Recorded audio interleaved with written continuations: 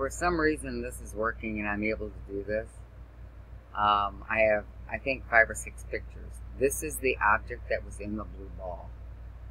And I put it under different lighting, so I just want to show it to you, okay?